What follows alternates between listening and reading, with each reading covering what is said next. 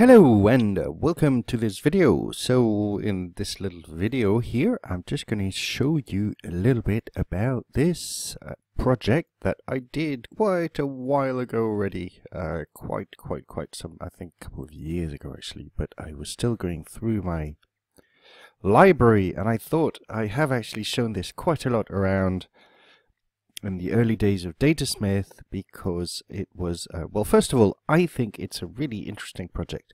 Let me give you full, full, full credits to uh, Eric Anton from Artrefactory Lab, who very, very kindly spent quite a bit of time uh, to uh, tidy everything up in this 3ds Max scene, which was actually created uh, in Corona using, and so it was the early days of Datasmith, and so it was great to be able to test Unreal and use a scene from Corona uh, and see how basically all these great, great, great materials that Eric, uh, extremely talented artist uh, from Artrefactory Lab, uh, created.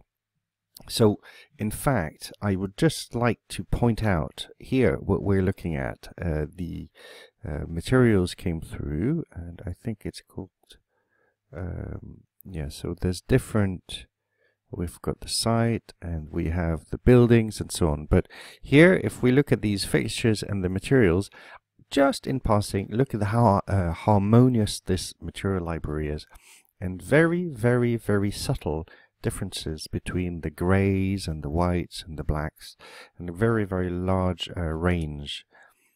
And I have always noted that in Eric's material library that they uh, just looking at the material library it looks um, already full of very subtle um, material of very subtle differences and everything kind of looks harmonious so it's a small thing, but uh, I thought it might be worth pointing out.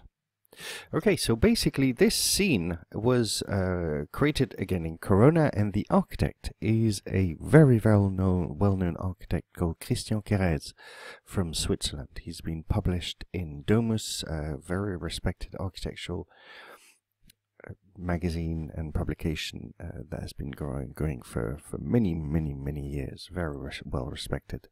And his work is uh, beautiful, like a lot of the work that Eric does from uh, very, uh, very high end architects.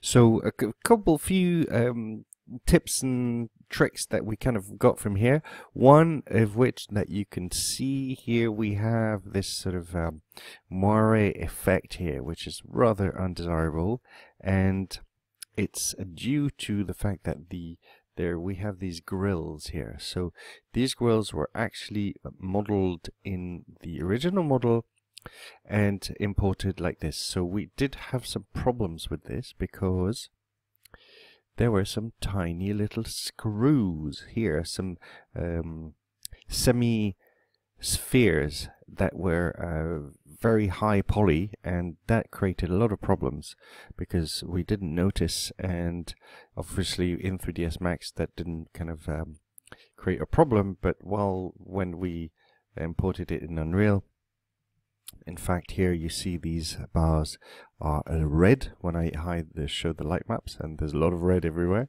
But specifically these, and it created um, some problems in the scene. So if you do have to do this, I think it would be very much a case of doing an LOD, level of detail, which is not necessarily always that easy, and one good idea would be to use a texture map instead of um, having the mesh, which obviously um, may not quite look quite as good as this when you're close up. So that's where a case of doing LOD. However, the very, very quick and dirty solution that I want to show you, especially now that we have powerful machines, is to change the screen percentage here. So if we go to our view options and we go to screen percentage, put that onto 200%.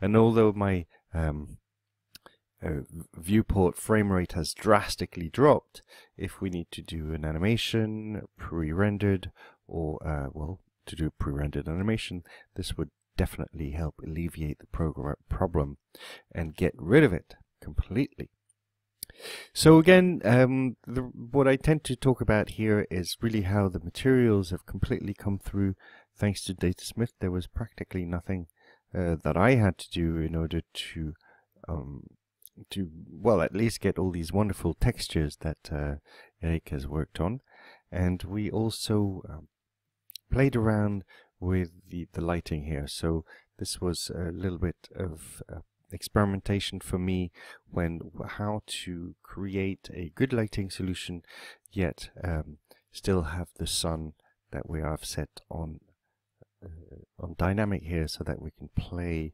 with the uh, the dappled uh, shadow effect of the tree outside. So this tree I have to say was created by uh, a friend from uh, from from Paris as well, who's very very uh, talented creating trees in GrowFX. And so this uh, was our first attempt to do try and do something for Unreal. So the the uh, the outside is very very simple. In fact, we didn't really push it very much on the outside, and I didn't have uh, much of a grass here. So that's only just a texture. So in terms of the lighting here, if we go to lit lighting only mode.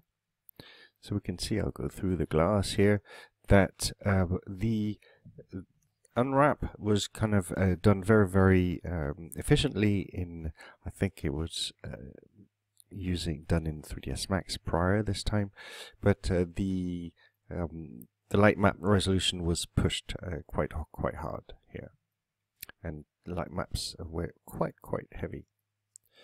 But the result is worth it. Here, if I hide the uh, the scene, the, the gizmos, we have um, the uh, the texture maps that come quite well. And then if we have, we go into the detail lighting mode, we have, uh, well, there isn't much reflection, but we can see kind of showing the, the texture. So again, there was not much to do here other than play with the lighting and the atmosphere because all the uh, materials came through in Datasmith. I'll walk around a little bit there, showing you it's very, very minimal architecture, but uh, I really like, I really like this. I think it's very uh, solemn and um, uh, beautifully proportioned. So the thing that worked really, really well also is this kind of concrete area here uh, shown behind the glass.